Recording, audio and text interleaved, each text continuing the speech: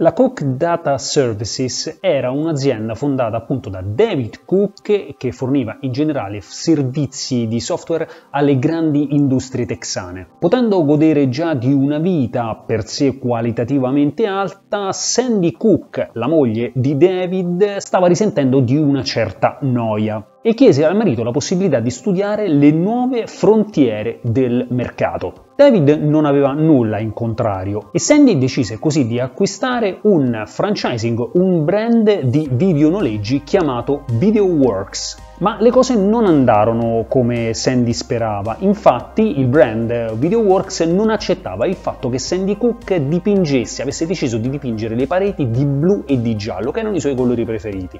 Così Sandy decise di lasciar perdere e di tirare un'azienda, di tirare su un'azienda tutta sua un brand di vendita di videocassette, di VHS. Sandy e David avevano capito che il potenziale del videonoleggio era inimmaginabile. Se siete cresciuti negli anni 90 sapete sicuramente qual è la differenza dei mondi che separano eh, le piattaforme e l'era precedente, quella del videonoleggio. Se non abitate in una piccola realtà e ciò che vi circonda è un contesto di almeno 30.000 abitanti, molto probabilmente nella vostra infanzia nella vostra adolescenza sarete passati davanti ad un blockbuster video. Io sono Bella Ballò e ho avuto anche io una tessera blockbuster pur non avendo noleggiato chissà quante videocassette, 3, 4, 5, ma per il semplice fatto che il mio videonoleggio era più vicino a casa, non era un blockbuster video. Ma credo di essere entrato in quei negozi dipinti appunto di blu e di giallo chissà quante decine di volte. Perché il fascino di quel brand, di quel posto, di quella dimensione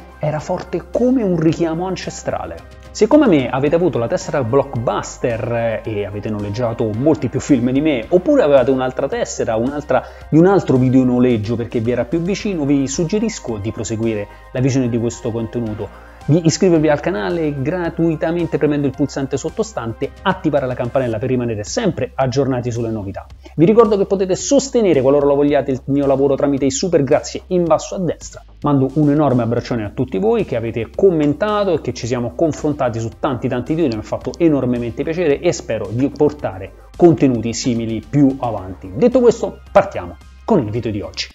Sigla.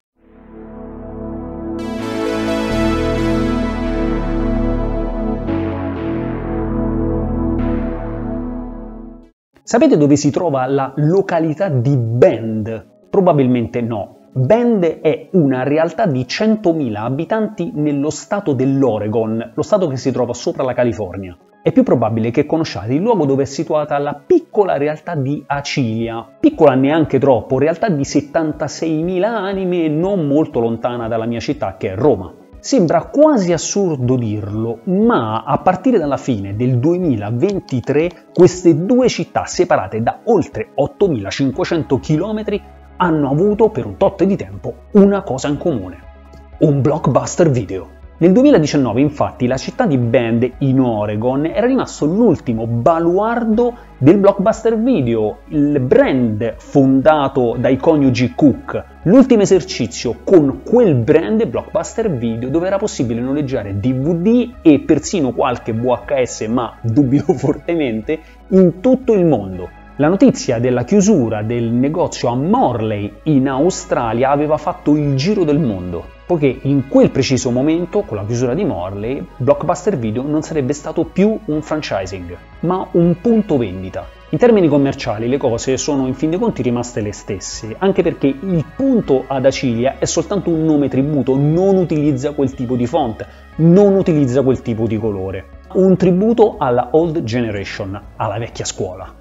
Ehi Ray, mm? da Blockbuster trovi il tuo film o è gratis? Wow! Divertimento garantito! Blockbuster ha così tante copie di In linea con l'assassino e tu Fast to Furious che li trovi subito. O li noleggi gratis la prossima volta. Yahoo! Make it a Blockbuster night. Il brand ufficiale quindi della catena resta soltanto nella cittadina di Bend, l'unico punto vendita situato appunto nello stato dell'Oregon e non nella più bella, famosa Portland, bensì in una città, in una realtà molto più piccola. Ma cosa è accaduto tra il 1985, l'anno di fondazione di quel brand, e il 2019? Com'è possibile che un titano del mercato di DVD e VHS, che disponeva di oltre 9000 punti vendita in tutto il mondo, sia diventato un solo punto di vendita? Be kind, rewind. Those familiar words are not requested too much anymore. Does. Nonostante l'avvento dei nuovi formati digitali e dei primi software di download illegali prima dell'avvento di Netflix e compagnia cantante, nel 2005 Blockbuster Video aveva raggiunto il suo picco massimo di 9.094 punti vendita. Questo picco economico avviene quindi a 20 anni dall'apertura del primo punto vendita a Dallas, in Texas, nell'ottobre del 1985. Quel negozio vantava di almeno 2000 beta e 8000 videocassette. Il successo a Dallas permise a Cook, ai coniugi Cook, di aprire un enorme magazzino per i tempi che verranno, per il futuro, un futuro che sarà fatto di grande successo appunto. Imagine the perfect video store. It would have a great selection, right? Right! Over 10,000 videos. Three evening rentals, so no rush, no hassle. Fast checkout. 24 hour quick drop return. Open late every night. A partire dal 1987 iniziarono infatti le prime collaborazioni.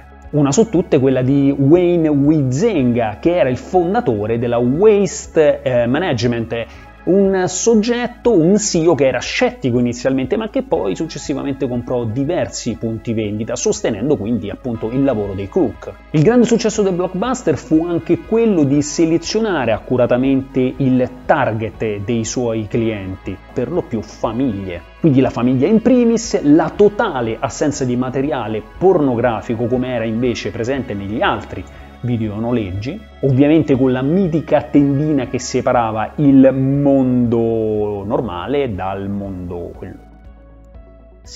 Nel 1988 Blockbuster, oltre al noleggio dei film, iniziò anche a mettere sugli scaffali le cartucce dei videogame delle console più famose in quel periodo e quindi ovviamente starete tutti quanti pensando alla NES della Nintendo. L'azienda giapponese non aspettò molto tempo prima di intentare una causa contro Blockbuster Video, causa che perse poi nel 1989, nonostante un disperato appello al congresso degli Stati Uniti. Il brand di David e Sandy Cook divenne anche un gigante fra i maxi sponsor. Nel 1990 infatti vennero giocati i Blockbuster Bowl eh, del football della NFL. La sponsorizzazione di Blockbuster Video durò per ben tre anni fino al 1992. Nello stesso anno ormai quello che si poteva ben definire ormai colosso, Blockbuster Video, comprò anche la catena Herolds, che era una diretta concorrente, aveva 250 punti vendita in tutti quanti gli Stati Uniti e venne immediatamente acquisita. Nel 1983 acquisì una partecipazione di controllo nella Spelling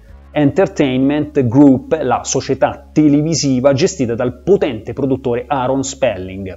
Sì, il papà di Tori. Nonostante una guerra economicamente sanguinosa con la Time Warner e con un conseguente crollo del 10% in azioni, l'espansione di Blockbuster sembrava non avere limiti. Un accordo televisivo importantissimo venne stipulato con la Viacom, colei che controllerà poi successivamente un gigante come la Paramount Pictures. Nel 1994 infatti Viacom acquisì il totale controllo di Blockbuster per 8,4 miliardi di dollari. Il brand, ormai con le spalle ben coperte, decise di sbarcare anche in Europa, a partire dal Regno Unito. Nella perfida Albione ovviamente trovò terreno fertile per progredire ulteriormente e crescere il proprio potenziale, pian piano cominciando a, conquistare un po' tutti quanti gli altri paesi, Spagna, Portogallo, Francia, Germania e ovviamente anche l'Italia. E proprio quando l'espansione sembra non fermarsi, ecco che iniziano i primi problemi. Sono passati diversi anni da quando infatti Viacom ha acquisito il totale controllo di Blockbuster Video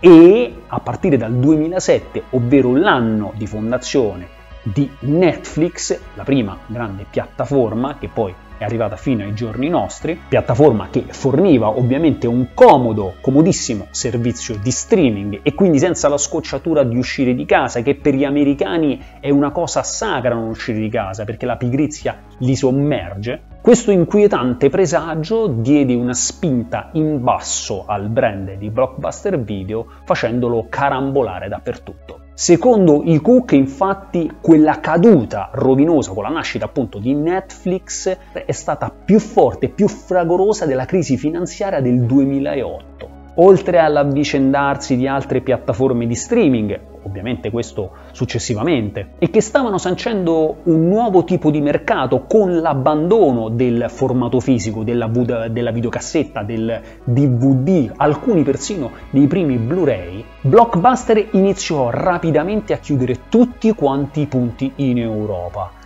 addirittura la totale sparizione di tutti i punti vendita in Spagna e Portogallo, seguiti poi da Germania, da Francia e in Italia rimase qualche punto e questa cosa noi ce la ricordiamo. I blockbuster a un certo punto erano spariti dalla circolazione, questo specialmente nelle grandi città, ripeto, quindi Milano, Napoli, Roma, eh, Bologna, Palermo, Bari, ok? Nel nostro caso, nelle, gran, nelle nostre grandi realtà, relativamente grandi realtà, c'è stato un drastico calo dei punti vendita aperti. Nel giro di 9 anni in tutto il mondo Blockbuster è passato da 9.094 punti vendita a 2. Nel 2019, ritornando un po' a bomba, l'unica città con il punto vendita blockbuster aperto è rimasta appunto la cittadina di Bend, in Oregon. La sopravvivenza di questo ultimo baluardo del brand è dovuta al fatto principalmente della scarsa frequentazione ad internet della popolazione,